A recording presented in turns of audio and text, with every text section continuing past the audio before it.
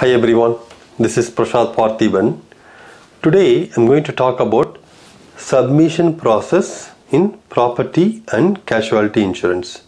As most of us know, the first and foremost step in getting new customers are done through this submission process and let's see the different steps involved in this submission process.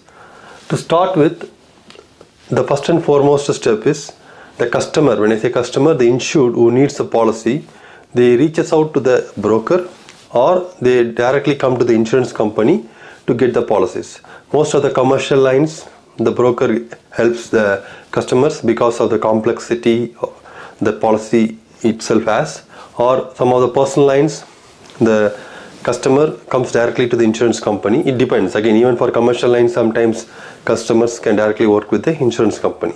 So that's step number one right? The customer reaches out to the broker or insurer for new business policy. Then what happens is the insurance company and the broker they collect some basic details about the customer right? And then the coverage details required and some specific information about the underwriting details.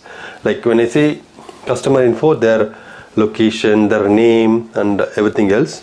And then coverage details, right? Like if you take workers' compensation, how many employees the company has, or if they have, they need property policy, commercial property, what are their locations, or if they need commercial auto, number of vehicles, and it goes on like that.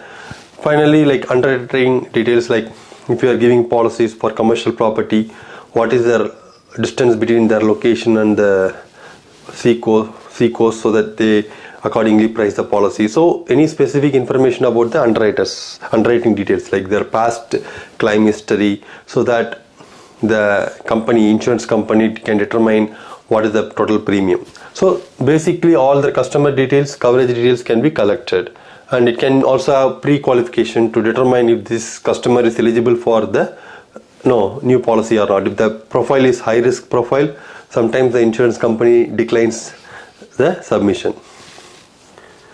Once you collect the details and you decided that yes, this is not an high risk profile, we can move forward with this quote or this customer.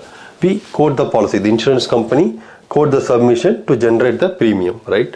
So just to recap, initially customer reaches out to broker or the insurance company then the insurance company or broker gets details about the customer as well as their coverage needs as well as specific information about underwriting details like their risk past risk history or like their specific loss exposures. And then we quote the policy. If the insurance company determines that yes we can proceed with the submission.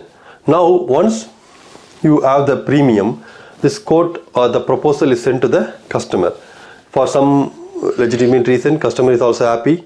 So what we do is we generate the policy forms. So when you say policy forms like what are the documents that are specific to this submission or the new customer? And then the payment plan. Sometimes customer may say you know what? The premium is $3000 or in terms of commercial lines sometimes premiums could be 20000 k or $30000 so they could not pay it in one installment. If the customer says I need to split this premium in 10 installments, we can do that by selecting the required payment plan. Then everything is done. Final process is we need to issue the policy. The point that we need to think about is sometimes what will happen is customer may need the policy effective tomorrow and they have almost all the details.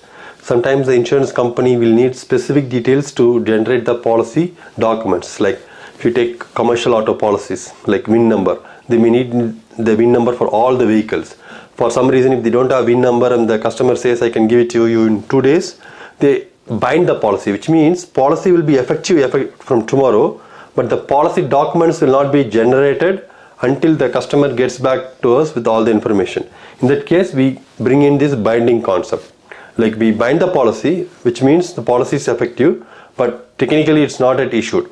So once we get all the required details, as I told you, similar to commercial auto, if you get the VIN number for all the cars, then we issue the policy and generate all the policy documents. When I say policy documents, issuance documents and whatnot, all the documents are generated and those documents are sent to the customers. The, when I say customers, insureds.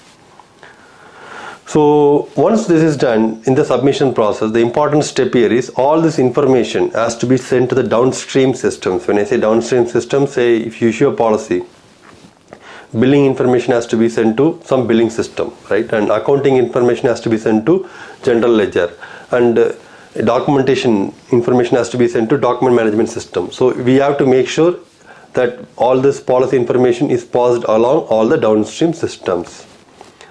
I hope you like my training videos. If you like my training videos, please do subscribe to my YouTube channel.